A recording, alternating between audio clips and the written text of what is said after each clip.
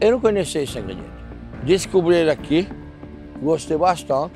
Ele faz parte da alimentação no Brasil quase todo dia, de uma forma diferente. Ele é muito versátil. É impressionante porque ele, ele tem tanta coisa diferencial, ele oferece tanta opção, tantas coisas, que é uma coisa inimaginável. E nascer de embaixo e sobe e virou uma joia. O que é? Mandioca. Mandioca. Mandioca. Mandioca. Mandioca.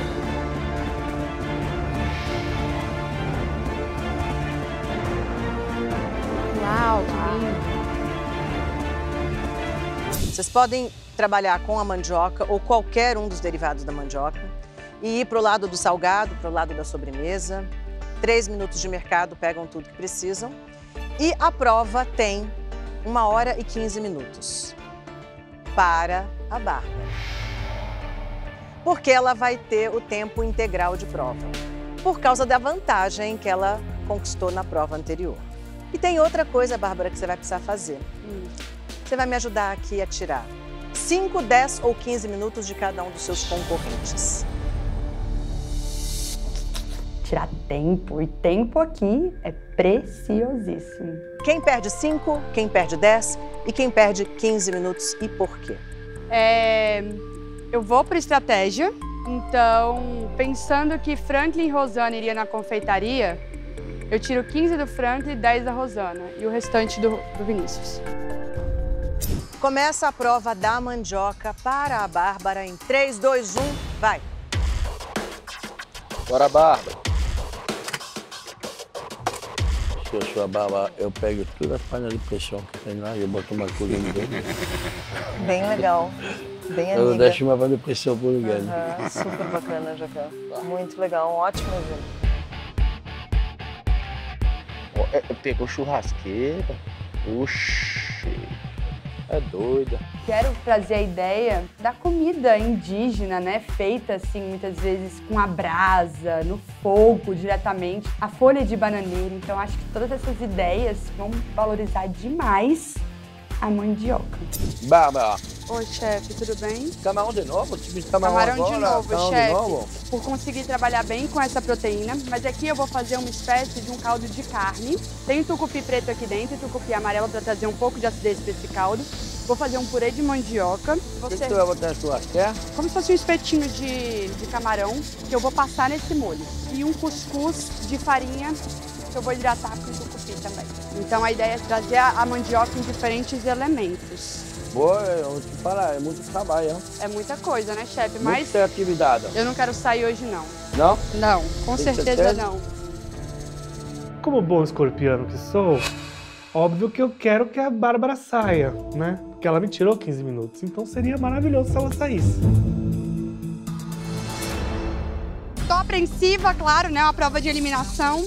Já a mandioca é muito versátil. Isso acaba dando pra gente muitas possibilidades, o que torna também difícil, porque é tanta coisa pra gente pensar. Mas assim, eu tô confiante no meu prato. O cuscuz, eu pego mais de uma opção da farinha. Eu pego a farinha de uarini e a farinha d'água. A farinha d'água, ela tem é, flocos mais irregulares. Eu quero ver se a textura dela na boca fica melhor.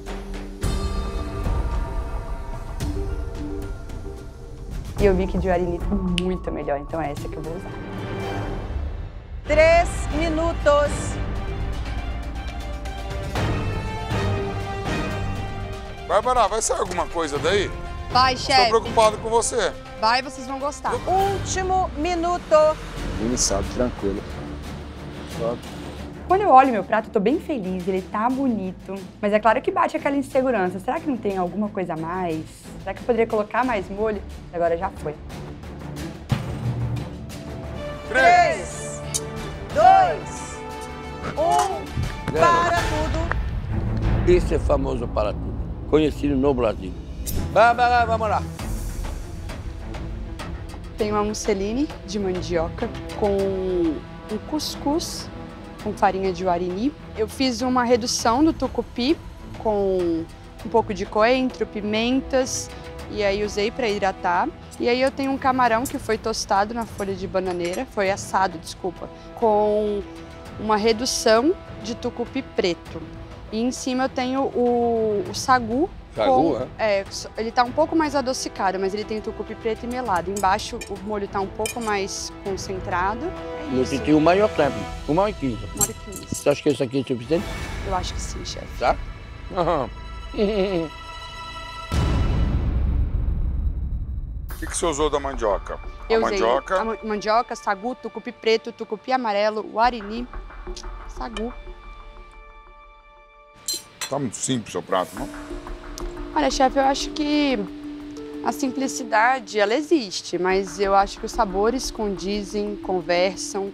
Eu me baseei muito na ideia do, do indígena, que é uma comida muito simples, mas que tenha dentro dessa simplicidade uma, um nível de conhecimento.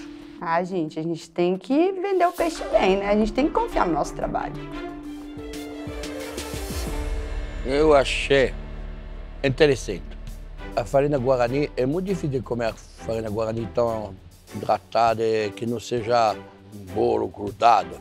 Ela é bem solta, ela é agradável de comer, eu gostei dos temperos. A purê de manioquim está gostosa, os camarões são no ponto. Parabéns. Obrigada, chefe. Eu te perguntei da simplicidade para ver como é que você se saía de uma pergunta dessa. Seu prato não é simples.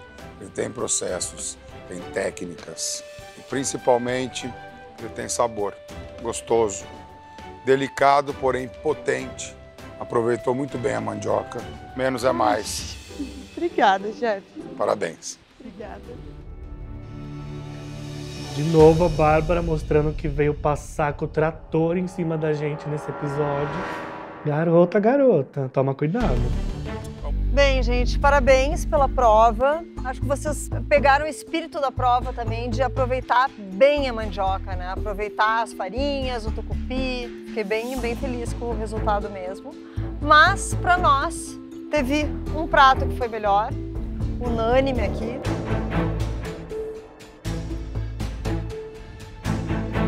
Este prato foi o da Bárbara. Obrigada, Obrigada. top 5, hein, Bárbara? Uh, tô feliz demais, nem acredito. Parabéns, Ai, Bárbara. obrigada. Nossa, ganhei meu dia. Primeira prova com sucesso, segunda prova com ingrediente lindo, com a minha cozinha também com receita vencedora. É demais pra mim.